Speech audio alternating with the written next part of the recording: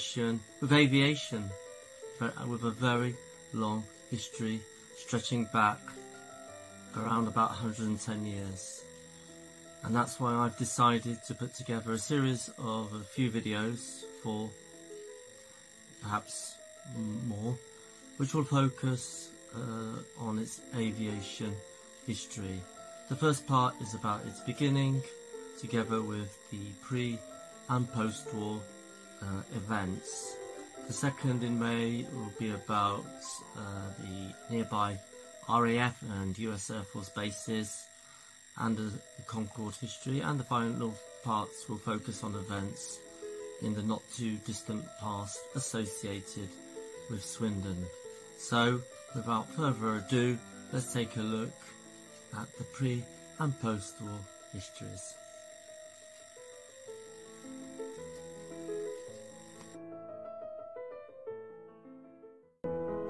The first aeroplane to visit Swindon arrived on the 27th of July 1912 and attracted a crowd of 35,000 amazed onlookers.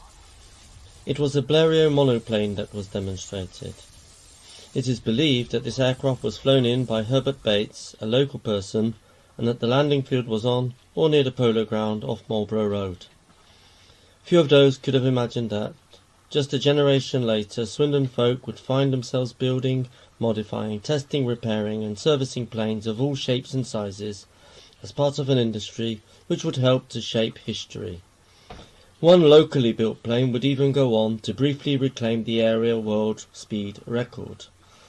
Swindon and its neighbouring villages was the hub of a hastily assembled aircraft industry spread over a number of sites which appeared as if by magic during the Second World War, before disappearing, although not quite as quickly, to leave only a few signposts to a remarkable period in the town's history. But it's a chapter from Swindon's story which deserves comparison with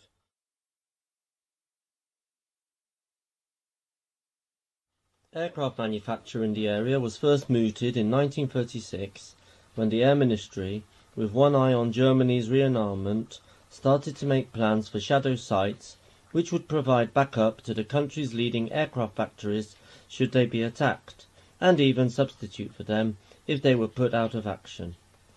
By 1938, with war seemingly inevitable, South Marston was chosen as a shadow site because of its good communication links, but mostly because it was so close to the large skilled workforce of Swindon's huge GWR factory. With the first planes to be built at South Marston due to be made from wood, the skills of craftsmen from the carriage and wagon shops were to prove vital. Many of the workers arrived via the Swindon and Highworth Light Railway. This was originally built to take railway employees from the Highworth area to Swindon, but a specially built new branch to South Marston meant that some of these workers would now be going in the opposite direction. Building work on the factory at South Marston began in January 1940, but a hasty change of plan was ordered by government officials when they saw the size of the building that was taking shape. They felt that it presented too big a target to enemy bombers, so units were set up at Sevenhampton and Blunsdon instead. The South Marston factory was ready by the summer of 1940, just as the RAF was about to fight and win the Battle of Britain.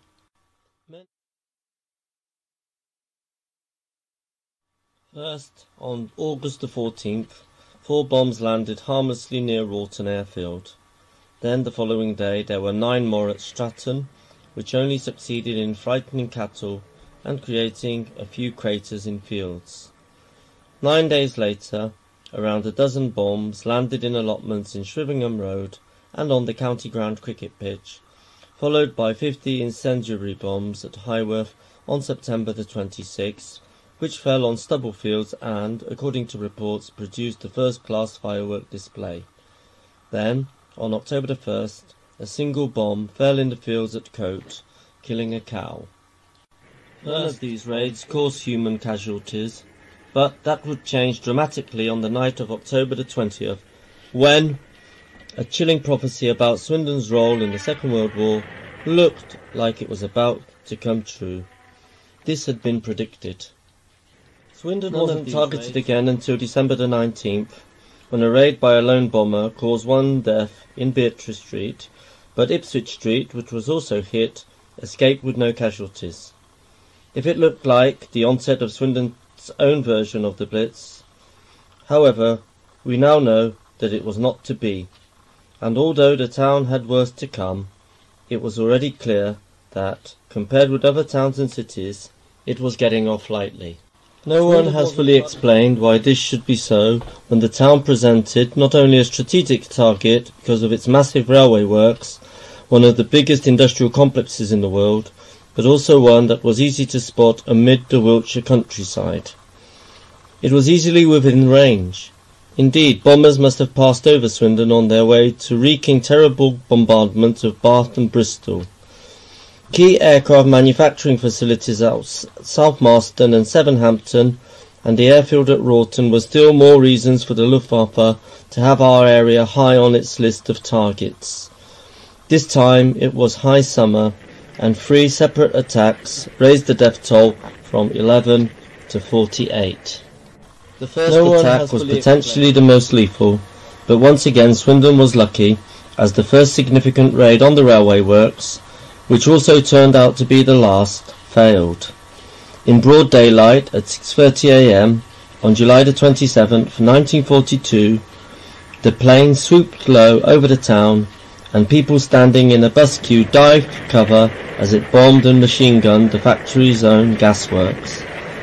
But three weeks later, on August the 17th, 1942, came the worst night of bombing the town would ever see. Two separate incidents caused 19 deaths in Ferndale Road and another 10 in Kembrey Street.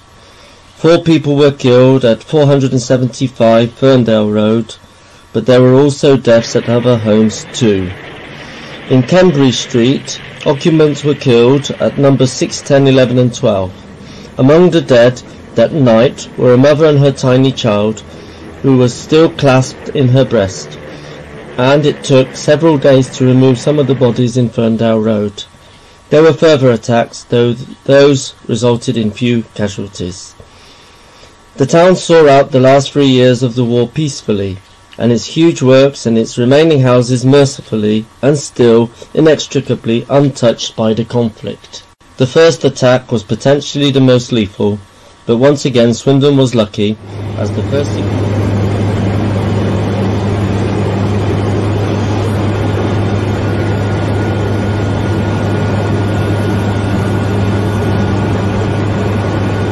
first South Marston master had rolled off the production line at South Marston in the spring of 1941, and a year later the factory was turning out nearly 80 a month. At the same time as masters were being produced at South Marston, the area also found itself helping with the manufacture of other aircraft.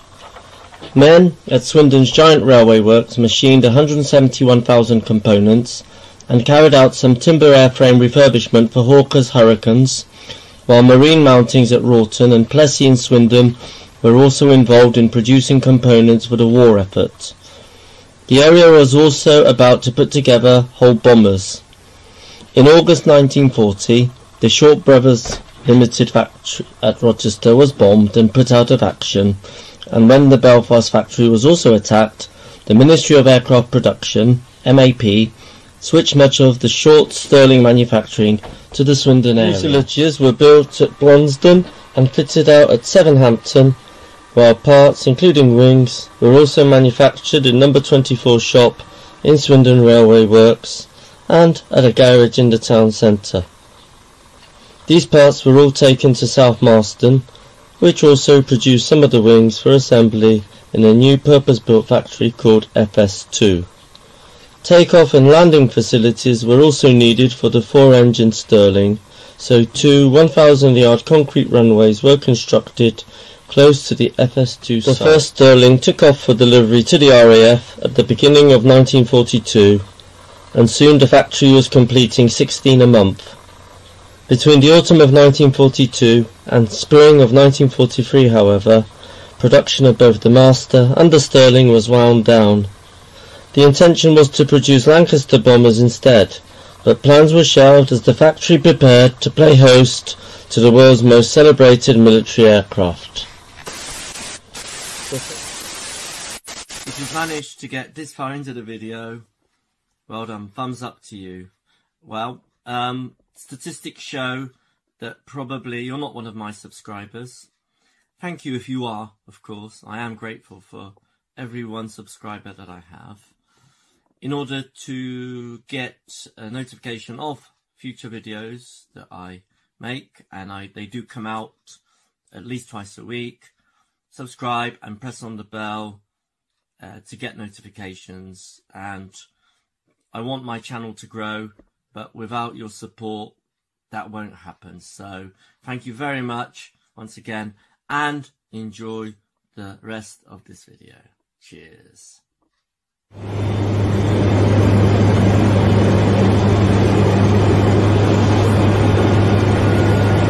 First, the factory undertook modification work on US aircraft, but demand for the new generation of Spitfires, the Mark 21, became so great that South Marston turned all of its production facilities over to these most famous of fighters. Much of the workforce received hasty retraining in metalwork and as a result, first of all, the factory only carried out modifications on older Spitfires before the first South Marston built Mark 21 was delivered to the RAF just before Christmas 1943. South Marston's role in the Spitfire story, however, was short-lived. The new Spitfire was a high-altitude fighter and, especially with D-Day on the horizon in the summer of 1944, the situation had moved on. In the end, only 121 Mark 21s were built at South Marston, although another 50 modified Spitfires bound for naval action, which the Royal Navy called Seafires, were also made there. Production of later versions of the Spitfire also continued after the war, before South Marston's last Spitfire, actually a Seafire, was completed in January 1949. In October 1945, Vickers bought the factory and airfield from MAP. It cost them half a million pounds, and the factory's new roles included the modification of planes which had survived the wars in trainers. First, the factory undertook modification work on US aircraft but demand for the new generation of Spitfires, the Mark 21, became so great that South Marston turned all of its production facilities over to these most famous of fighters. Much of the workforce received hasty retraining in metalwork and as a result, first of all, the factory only carried out modifications on older Spitfires before the first South Marston built Mark 21 was delivered to the RAF just before Christmas 1943. South Marston's role in the Spitfire story, however, was short-lived. The new Spitfire was a high-altitude fighter and, especially with D-Day on the horizon in the summer of 1944, the situation had moved on. In the end, Spitfires also continued to fly out of South Marston after repairs and modifications, with most of these ending up in foreign air forces. Walrus and Sea Otter amphibians were also refurbished, the former destined to fly the colours of the Netherlands and Argentinian air forces, and the latter for civil duties. By the 1950s, the South Marston factory was part of the Vickers Armstrong Aircraft Limited Supermarine Division. Still, the spirit of the Spitfire was proving persistent as production turned to the Attacker, a jet version of the Spiteful, which in turn had evolved from the Spitfire. The Attacker was the Royal Navy's first jet fighter designed for launching from aircraft carriers and was also used by the Royal Pakistan Air Force. In all, 182 attackers were built at South Marston between 1950 and 1953. Did you know that Swindon-built Supermarine Swift broke the world speed record? The Supermarine Swift was the, an RAF fighter that had evolved from the Attacker. The Swift was a single-seat swept-wing fighter powered by a Rolls-Royce Avon axial flow turbojet engine. This aircraft was destined for the record books when a South Marston-built Swift F4 WK198 set the world speed record at 736 miles per hour, 32 miles per hour short of being the first supersonic aircraft over Libya on September the 25th, 1953, a record it held for just eight days. This was the second time that a vehicle made in the Swindon area had held the record. The GWR locomotive City of Truro having set it at 102.3 miles per hour in 1904. In all, 197 Swifts were manufactured, all of them at South Marston. The factory also produced scimitar jets for the Royal Navy, and it was to be the scimitar that would be the final complete aircraft built on the site in January 1961. Throughout the 1970s and 1980s, South Marston produced components for a wide range of other Vickers products and major projects such as Concorde, but that will be a story for next time. So we'll be looking at the now defunct bases of RAF Lyneham and Wroughton, and the one to the north of Swindon, which is nowadays used as a standby base uh, uh, by the US Air Force and uh, for the International Air Tattoo. That one is kind of operational there.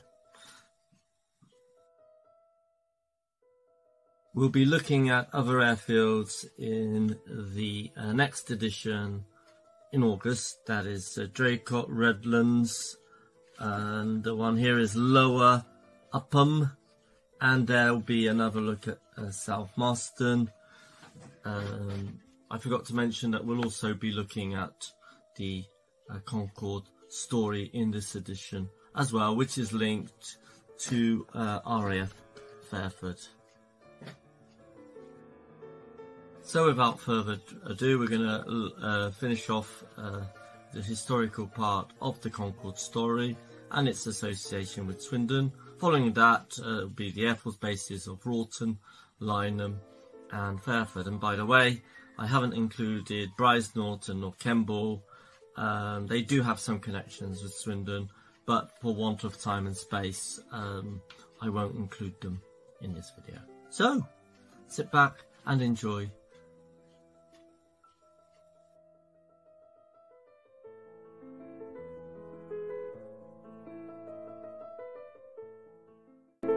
Swindon had a long association with Concorde, beginning with its first ever flight, which brought the first prototype to nearby RAF Fairford, the site of its official test centre, and into our airspace in 1969. In that time, local companies played a huge part in its development, with both Vickers and Plessey challenged with designing, manufacturing, and engineering many of the futuristic parts and electronics the aircraft required. There it became a familiar sight over our skies, as it landed and took off nearly every day during a five-year test program before finally entering commercial service in 1976, ending a quarter of a century later following the Paris tragedy. Concorde was a familiar sight over Swindon, flying above our skies on its way to New York or Washington, D.C., just a few minutes after takeoff. Indeed, the sound reverberated even before it was visible. Interestingly enough, the Concorde followed a conventional traffic lane until it reached RAF Lyneham and then diverted to the acceleration point south of Swansea. From Lyneham onwards it had its own special track called Sierra Mike westbound and Sierra November eastbound.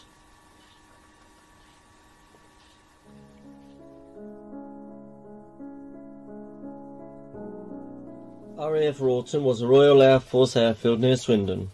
Ministry of Defence aviation activity ceased in 1972. The airfield now belongs to the Science Museum Group and is home to the National Collections Centre, which houses the group's large object storage and library.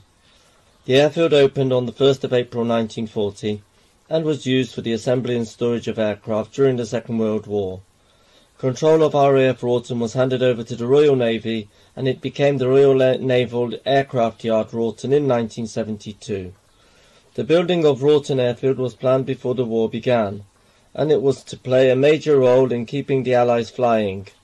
During the conflict, more than 7,000 aircraft of no less than 62 different types were modified, serviced, or repaired at Wroughton's maintenance unit. In 1941, Another unit, MU N number 76, was also set up at Wroughton to handle the packing of aircraft into huge crates for transport overseas.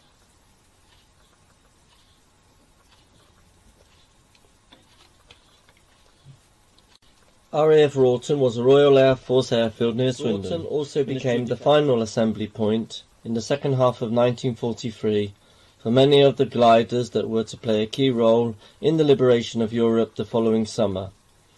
Mosquitoes and more Lancasters made their last flights to Wroughton during the 1950s, usually destined for the scrap heap, but one Lancaster, PA-474, came in for an overhaul in 1964 ready to join the Battle of Britain Memorial Flight, of which it is still a member. The 1960s even saw work on Westland helicopters at Wroughton, but by 1972 its life as a maintenance unit was over.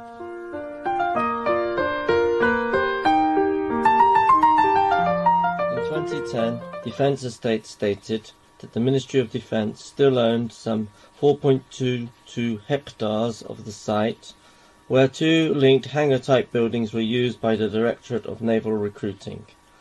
In 2016, a 50 megawatt solar farm was completed on about 67 hectares of the airfield with over 150,000 solar panels. This was a joint project of Public Power Solutions, a commercial arm of Swindon Borough Council, and the Science Museum Group. From 2016 to 2019, the series, uh, the Grand Tour operated their test track on the north end of the airfield, with the track encircling part of the Science Museum's storage facilities. To uh, Lyneham. Uh, let's have a look at this printed photo of a Lockheed C-130 Hercules, nicknamed Fat Albert, locally a familiar site above the skies of Swindon District. As a teenager, I was already interested in um, aviations, and planes like this were a familiar sight, and I would often look up at them in amazement. It was the nickname that local people used with some affection when talking about the Hercules, though um, not myself. Um, it was a common sight uh, over the skies of Swindon for 55 years. Well, that's a long time, isn't it? So, uh, let's get on and find out about RAF Lyneham. RAF Lyneham was a Royal Air Force station located about 10 miles southwest of Swindon. The station was the home of all the Lockheed C-130 Hercules transport aircraft of the Royal Air Force before they were relocated to RAF Brize Norton. RAF Lyneham was the Royal Air Force's principal transport hub, operating the modern Lockheed Martin C-130J Hercules and the aging but very adaptable Lockheed C-130K Hercules. The airfield became renowned for being the gateway between the United Kingdom and Afghanistan. The station was also where repatriation of British personnel killed in Iraq and Afghanistan took place. The bodies were transported through the nearby town of Royal Wootton Bassett, with crowds lining the streets to pay tribute to the fallen. The station closed on the 31st of December 2012, with the majority of its personnel and other assets having moved to RAF Brize Norton. On the 31st of May 2011, a parade was held attended by the Princess Royal to mark the departure of the squadrons. The final Hercules left Lyneham on the 1st of July 2011. Daily flying operations ceased on the 30th of September 2011. The site is now known as the Ministry of Defence Lyneham and is home to the Defence School of Electronic and Mechanical Engineering. The airfield was built in 1939, necessitating the demolition of Lyneham Court Manor House, the buildings of Cranley Farm, and the village's tennis courts. The airfield itself was initially a grass landing area, although the RAF always planned to lay hard runways. Hangars and other buildings were dispersed around the site to avoid creating one large target for an aerial enemy. The station was opened on the 18th of May 1940 as number 33 maintenance unit with no ceremony and few personnel. Shortly after, a single enemy aircraft attacked the station on the 19th of September 1940, dropping bombs before strafing part of the airfield. five civilian workmen were killed. Lyneham's first runways were constructed during 1940 and 1941, the longest being 1.334 meters, the other 1.080 meters. During the following years, these were both extended, and in 1943, the 1,829 meter north-south runway was opened as well. On the 14th of October 1942, 511 Squadron was formed at RAF Lyneham. As the war progressed, it expanded its long-range transport 6 Squadron RAF. The main runway was extended from 1,800 meters to its present length of 2,390 meters. This necessitated the demolition of two hangars on the north side of the airfield and also the movement of the main gate from the north to the east of the station. 511 Squadron was reformed again at Lyneham on the 15th of December 1959 as the second squadron to operate the Britannia on long-range trooping flights. It moved out of RAF Lyneham for RAF Brize Norton in June 1970 as Lyneham became the airfield for the newer Lockheed C-130K Hercules. The squadron was disbanded on 6 January 1976 when it was decided to withdraw in August 1991 RAF Lyneham came under the media spotlight when John McCarthy was flown back from his five-year captivity in Lebanon to the Wiltshire base. Other famous names followed for RAF Lyneham as they were released, such as Terry Waite and Jackie Mann. RAF Lyneham received the first of 25 brand new Lockheed Martin C-130J Hercules on the 23rd of November 1999. The newer J model aircraft worked side by side with 29 refurbished C-130K Hercules flown by 47 Squadron. On the 9th of November 2001, the MOD announced the strategic review of the future roles of RAF Lyneham in anticipation of the arrival into RAF service of the Airbus A330 Voyager and the Airbus A400M expected around 2010. At this stage it was planned that both the C-130K and C-130J fleets would move to Brize Norton in the summer of 2011, with the closure of Lyneham completed by the end of 2012. It was thought unlikely that a further military use would be identified for the site.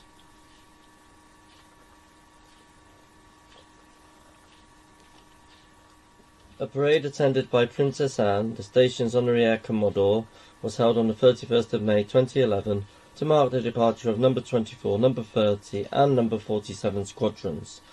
The Douglas Dakota of the Battle of Britain Memorial Flight conducted a flypast. By mid-June 2011, around a thousand of Lyneham's 3,500 military and civilian personnel were left to complete the closure of the station. The final four Hercules departed Lyneham at 10.30 on the 1st of July 2011, conducting a flypast around Wiltshire before heading for their new Oxfordshire home, one of them piloted by the station commander, Group Captain John Gladstone. A ceremony attended by Prince Prime Minister David Cameron was held at Brize Norton on the 31st of October 2011 to mark the formal transfer of repatriations from Lyneham. The station's air traffic control unit closed at 0001 hours on the 30th of September 2011 at which point all flying operations ceased. As a result, the RAF Lyneham Flying Club moved to Cotswold Airport in Gloucestershire. On 1st of June 2012, an inscribed Portland stone memorial, a bench and an oak tree were unveiled on the green within the village of Lyneham. The memorial commemorates the RAF's use of the nearby station for over 70 years. A flag lowering ceremony took place on the 17th of December 2012, with Lyneham officially closing as an RAF station on the 31st of December 2012. After RAF Fairford in Gloucestershire, 10 miles north of Swindon, is currently a standby airfield and therefore not in everyday use. Its most prominent use in recent years has been as an airfield for the United States Air Force B-52s during the 2003 Iraq War, Operation Allied Force in 1999, and the first Gulf War in 1991. It is the US Air Force's only European airfield for heavy bombers. RAF Fairford was the only transoceanic abort landing site for NASA's Space Shuttle in the UK. As well as having a sufficiently long runway for a shuttle landing, the runway is 3,046 metres long. RAF Fairford is also the home of the Royal International Air Tattoo, an annual air display, and is one of the largest air shows in the world, with the 2003 show recognised by the Guinness World Records as the largest military air show ever, with an attendance of 535 aircraft. RAF Fairford was constructed in 1944 to serve as an airfield for British and American troop carriers and gliders for the D-Day invasion of Normandy during World War II. The RAF used it to lift British troops for Operation Market Garden during World War II. In the early years of the Cold War, the British and American governments reached an agreement under which elements of the US Air Force Strategic Air Control would be based in the United Kingdom. In 1948, the Americans occupied RAF stations including Fairford, Brize Norton, and others to build up a deterrent in Europe against the Soviets.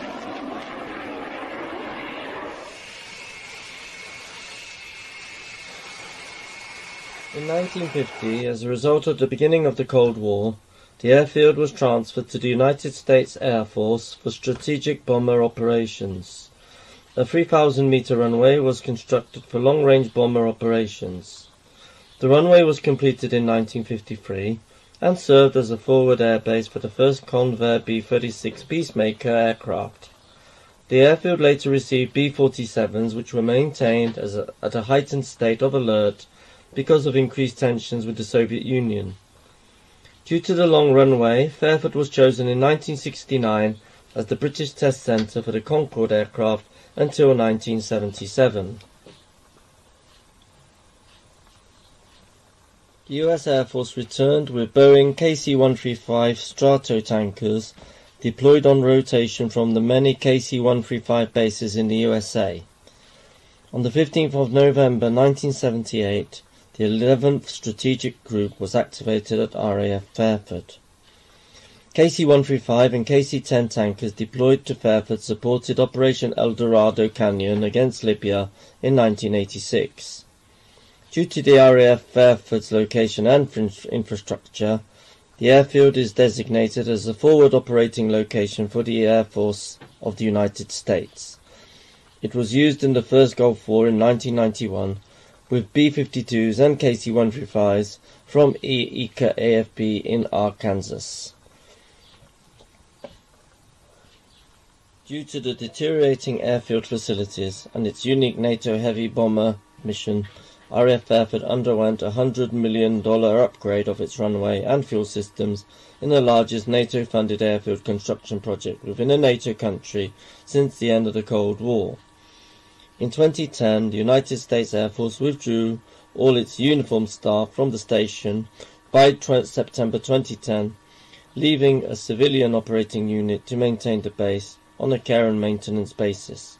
However, the base remains a designated standby airfield for heavy bomber operations, capable of immediate reactivation within 24 to 48 hours, and it continues to host the Royal International Air Tattoo every July. In September 2014, Fairford was used as the staging base for US President Obama's trip to the NATO conference held in Newport, Wales. Air Force One aircraft carrying the President and his entourage and support aircraft arrived on the 3rd of September.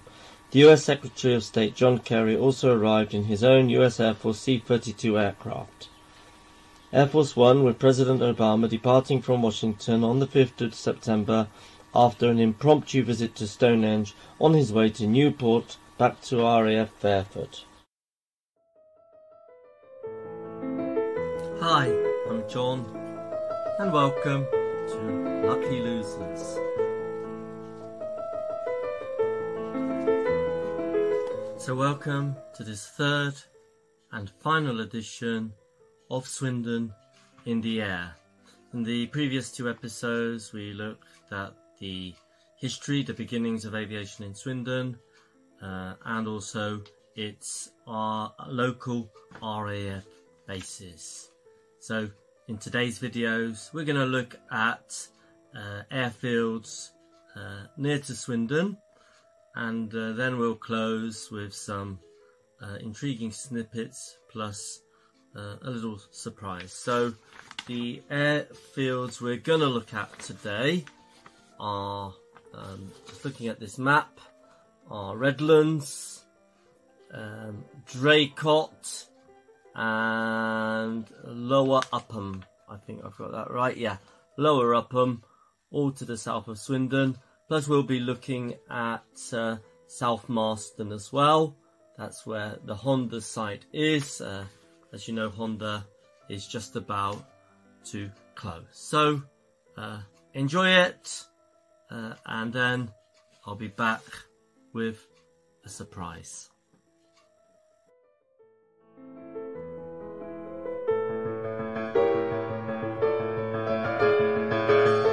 South Marston Aerodrome, as it was known, functioned from 1940 to 1985, being used for military and civil aviation.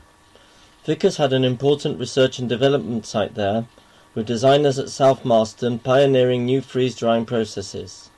The site had one more twist up its sleeve, and ensured that South Marston would have a hand in the production of planes, trains, and automobiles during its lifetime. For many years, a preserved South Marston built Spitfire was on display outside the Vickers factory.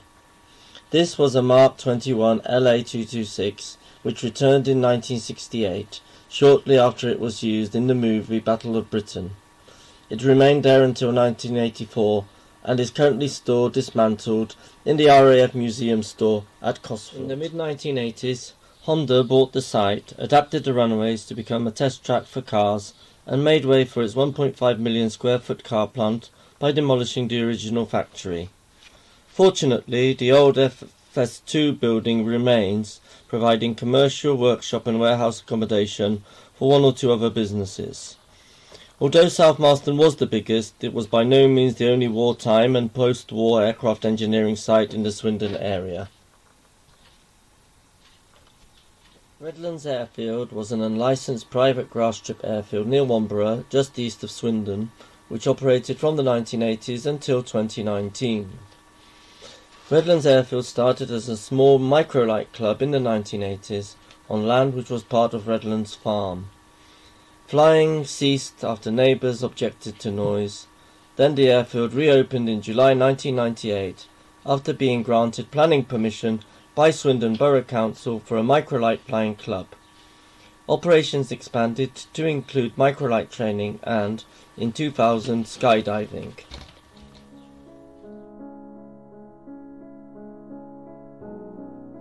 Lower Upham Airstrip, operated by Upham Aviation, lies adjacent to Lower Upham Farm and is located 5 miles south of Swindon, near Chiseldon and Ogbourne St George. It opened in the mid-1990s and is still currently in use with two unpaved grass landing surfaces it is used for general aviation. In 2008, Wilts Flyers held a charity fly-in with 104 visiting aircraft. Where on earth did they park them all? Presumably using one of the runways.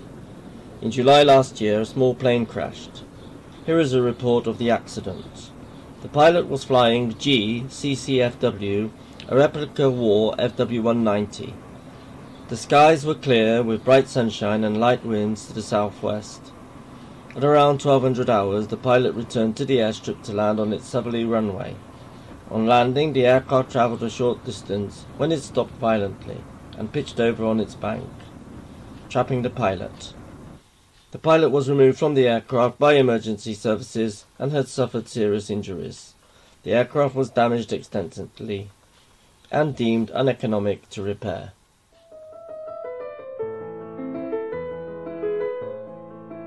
Draycott Aerodrome is located in Chiseldon, Wiltshire, just inside Lyneham Zone.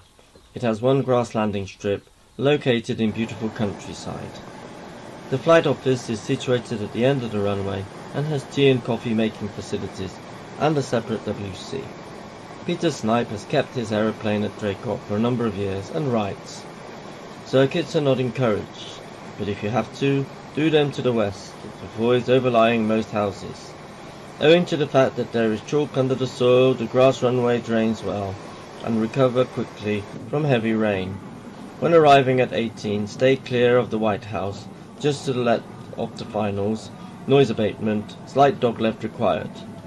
Both ends of 18 to 36 have dead trees, so slight dog legs are required. Be aware that Lower Upham is very close by to the east and they operate on safety com. And east-west runway is no longer in use. Model aircraft flying takes place on the airfield a quarter of a mile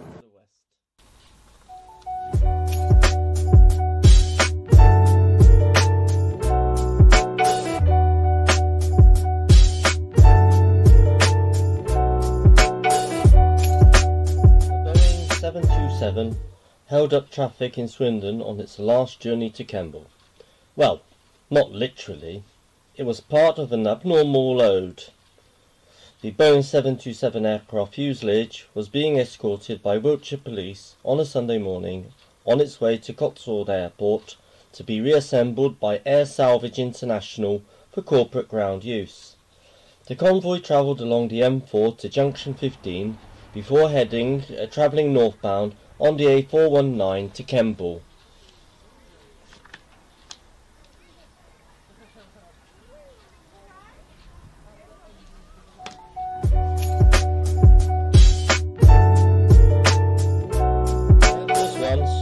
Swindon as Obama flies into RAF Fairford. That was in the local headlines back in September 2014. It's not every day that you can say the President of the United States was just over. But thousands could say just that as Barack Obama's presidential jet swooped low over Swindon's rooftops. The Boeing VC-25 was en route to RAF Fairford, with the President being one of the key attendees at the two-day NATO summit in Newport Gwent. Amidst tight security, hundreds of aviation enthusiasts congregated outside the Gloucestershire military base, hoping to catch a glimpse of the President's arrival and their patience was rewarded shortly before 7 pm. And it's thanks to a local photographer who was just in the right spot to capture the moment as Air Force One made its final descent. The President didn't hang on about for long though. He was soon whisked off to Wales aboard the presidential helicopter Marine One. C-130 Hercules were on the move within a week of each other Back in 2011. Travelling from RAF Lyneham, the load was transported on the A3102 in convoy through Wootton Bassett to the M4 Junction 16 before heading westbound on its journey to Hixon in Staffordshire.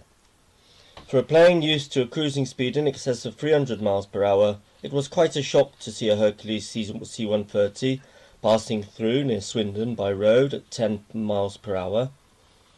The Fat Albert was on the move from RAF Lyneham to Hixon Airfield via special transporter as the base prepared to wind down operations and close back in 2012.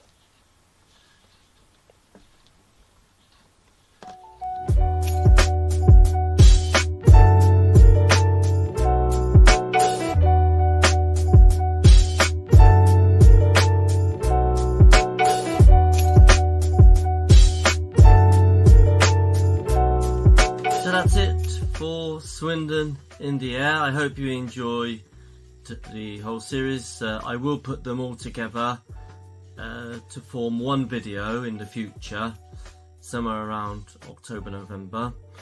Um, and the next part of uh, Swindon's transport history will be looking at the railway history of Swindon. That will be in a few episodes coming in September. And if you're still interested in things Swindon, uh, my channel also runs um, a series of episodes about the politics of Swindon, uh, Swindon Town, A to Z goals, and coming in August, the beginning of the Seven Wonders of Swindon, and I'll also be planning some episodes on Swindon churches. So that's it. So thank you once again for staying with me and I'll see you in the next video. Cheers for now. Bye.